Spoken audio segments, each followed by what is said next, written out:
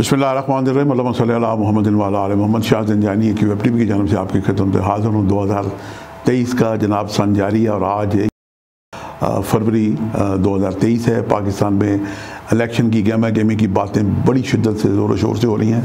मुझे याद है कि गुजशत साल जब मैं अपनी जंजानी जनसनी दो हज़ार तेईस की तैयारी कर रहा था तो पाकिस्तान का जायचा मैंने देखा और उसके बाद मैंने पाकिस्तान के जायचे के बाद इल्म से रिसर्च की कि पाकिस्तान में कब कब इलेक्शन हुए हैं और पाकिस्तान के जिन सालों में इलेक्शन हुए हैं, उनमें जनाब उन्नीस सौ चौवन उन्नीस सौ बासठ, उन्नीस सौ सत्तर, उन्नीस सौ सत्तर, उन्नीस सौ पचासी, उन्नीस सौ अठासी, उन्नीस सौ नब्बे, उन्नीस सौ तिरानवे, उन्नीस सौ सतानवे दो हज़ार दो दो हज़ार आठ, दो हज़ार तेरह और दो हज़ार अठारह में इलेक्शन हुए और आज हम दो हज़ार तेईस में खड़े हैं और इलेक्शन की इस कदर जनाब शिद्दत है कि तेरह पार्टियाँ एक तरफ़ हैं और इमरान खान एक तरफ़ हैं। जब मैं पाकिस्तान का जायचा देख रहा था तो पाकिस्तान के, मैंने जो इल्म के तहत मैंने देखा, दो हज़ार तेईस का मुफरत नंबर सात बंद है तो उन्नीस सौ पचहत्तर की तारीख में मुझे सात नंबर में इलेक्शन होते हुए दिखाई नहीं दिए और हुसन इतफाक़ से मेरी एक सियासी, एक साफ़ी बिरादरी के साथ मेरी इमरान खान साहब से मुलाकात हुई 18 नवंबर 2022 को। तो मैंने उनसे गुजारिश की कि मेरी खदमात हैं एस्ट्रोलॉजिकल रूहानी खदमात हैं, और मैंने अपना मानमा आइना किस्मत भी पेश किया जिसमें इलेक्शन की प्रडिक्शन थी, और मैंने उन्हें बताया कि मेरे सोशल मीडिया जो है कि टी वी पर मेरी पाकिस्तान पर जितनी मैंने रिसर्च की और उसके बाद आप एक ऐसे सियासी लीडर हैं कि आप पे मैंने यके बाद तरीके उतने ही प्रोग्राम किए हैं, कम पच्चीस के करीब, और मुझे पाकिस्तान में जनाब दो हज़ार तेईस में इलेक्शन होते हुए दिखाई नहीं देते मेरी बात से इमरान खान साहब को हैरत हुई और फिर मैंने कहा जी मेरी तो ये खदमात हैं और आज हालात उसी तरफ़ ही जा रहे हैं कि हमारे जो इलेक्शन कमिश्नर हैं उन्होंने भी जनाब इलेक्शन करवाने से हाथ खड़े कर दिए क्योंकि उनके पास वो फंड नहीं हैं। पाँच अरब और कहाँ इकसठ, पैंसठ अरब तो जब फंड नहीं होंगे तो इलेक्शन कैसे होंगे? हमारी वजारत दिफा ने भी जनाब माजरत दायर कर दी है और जितने भी सिक्योरिटीज़ के अदारे उन्होंने भी माजरत दायर कर दी है और हुकूमत भी नहीं चाहती कि इलेक्शन हो। जबकि अपोजिशन चाहती है कि इलेक्शन हो और आइन, अगर साठ दिन तक इलेक्शन नहीं होंगे तो आइन की जनाब खिलाफ वर्जी होगी। ये सारी बातें अपनी जगह पे दुरुस्त हैं लाइन की। आइन की खिलाफ वर्जी पाकिस्तान में कितनी दफ़ा हो चुकी है? पाकिस्तान में जनाब पाँच दो मार्शल लग चुके हैं और पाँचों मंगल के दिन लगे। ये पाकिस्तान का जो जायचा है हमारे पास गुजशत चौदह पंद्रह अगस्त उन्नीस सौ सैंतालीस का।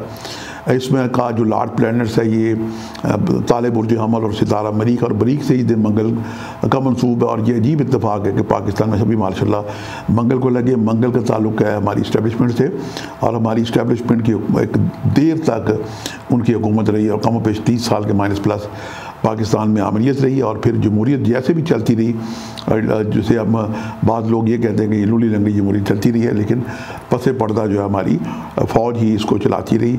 और अभी हालिया इमरान खान का जब जनाब ये सिलेक्शन हुई और जो कि लोग यही कहते हैं, ये इकतदार में लाया गया, फ़ौज ने इकतदार में लेके आई और फिर फ़ौज ने निकाला और इमरान खान ने जनाब अपनी तकरीरें कर कर के कर कर के अगर उन्होंने वो लेके आए थे तो तब भी जनाब, और अगर उन्होंने निकाला था तब भी जनाब उन्होंने दोनों चीज़ों को वाजे कर दिया।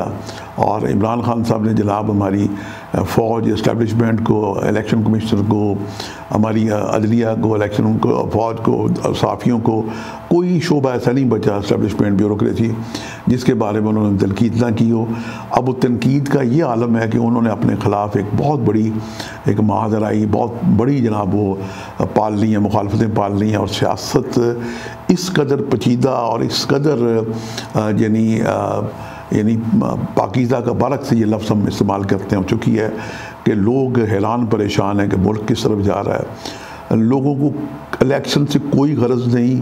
लोग महँगाई के हाथों इस कदर परेशान हैं कि आटा दालों के भाव जनाब उससे लोग परेशान हैं, पेट्रोल के लिए परेशान हैं और बिजली और जनाब पानी, सुई, गैस की महँगाई की जो खबरें आ रही हैं, लोग उस कदर परेशान हैं। लोगों के गुजारे मुश्किल हो रहे हैं और ये घर घर की कहानी है ख़वान बड़ी परेशान है। हम दुआ करते हैं कि अल्लाह पाक पाकिस्तान पे अपना रहम करे पाकिस्तान में इलेक्शन दोबारा होते हुए दिखाई नहीं देते। ये मेरी प्रोडिक्शन थी, जंजानी जंतरी मेरे सामने खुली हुई है और ये प्रोडिक्शन मैंने अपनी जंजानी जंतरी के सफ़ा नंबर 21 और 22 में दी थी कि हालात कुछ ऐसे नज़र आ रहे हैं कि पाकिस्तान में इलेक्शन होते हुए दिखाई नहीं देते। गो इसकी डेट है बारह अक्टूबर दो हज़ार तेईस, इसकी एंड एंड डेट है। और अब सब इदारों ने हाथ खड़े कर दिए तो मेरी ये प्रोडिक्शन जो मैंने की थी ये मुझे दुरुस्त होती हुई दिखाई देती है। लेकिन पाकिस्तान एक जमहूरी मुल्क है, इसमें हर पाँच साल के बाद इलेक्शन होने चाहिए ताकि तदखीर होती रहे और पाकिस्तान में अच्छे से, अच्छे सियासतदान आए ताकि मुल्क चल सके। पाकिस्तान में जनाब अब क्या होता है? पाकिस्तान का जो मैं जायचा देख रहा था तो पाकिस्तान के जायचे के में जनाब ये जो राहु केतु हैं, ये अपना बुर्ज तब्दील करके स्टेशनरी पोजीशन में आ जाएँगे। ये पच्चीस सितंबर से लेके और सितंबर, अक्टूबर और अठारह नवंबर तक ये स्टेशनरी रहेंगे। तो इस दौरान पाकिस्तान में गैर मामूली किस्म के सियासी हालात होते हुए दिखाई देते हैं।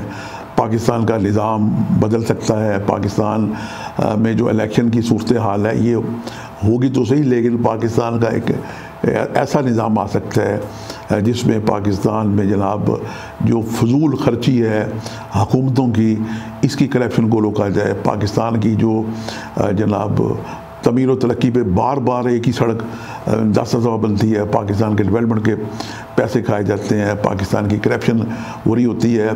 मैं शुक्रिया अदा करूँगा हमारी जो आई एम एफ़ की टीम ने आके इस दफ़ा पाकिस्तानी सियासतदानों को, पाकिस्तानी हुक्मरानों को, पाकिस्तानी ब्यूरोक्रेसी को और पाकिस्तान के वो लोग जो करप्शन करते हैं, उनको बेनकाब करने की कोशिश की।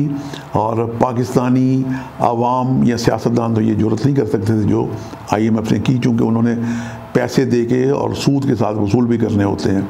तो पाकिस्तान में इलेक्शन 2023 में ये होते हुए दिखाई नहीं देते, लेकिन पाकिस्तान का निज़ाम तब्दील होता हुआ दिखाई देता है। यही हमारी प्रडिक्शन थी और हमारी ये जो तब्दीली है पाकिस्तान की, जो सितारा जोहल के बाद यानी तब्दीली पाकिस्तान के जायचे में जो जोहल आया दसवें घर में, ये पाकिस्तान का निज़ाम बेहतर करेगा। ये और वो जो जवाल का सितारा है, ये शाह को गदा और गदा को शाह करने वाला सितारा है। तो पाकिस्तान के, चूँकि ये तमीरी घर में आ गया हेड ऑफ़ द स्टेट के घर में आ गया तो पाकिस्तान की जो बदहाल अवाम है, पाकिस्तान में जो मसाइल हैं, परेशानी है सितारा जोल ठीक करेगा, ये मौलम सितारा है, ये अदलिया का सितारा है, ये दानश्वर सितारा है, और ये सज़ा देने वाला सितारा है।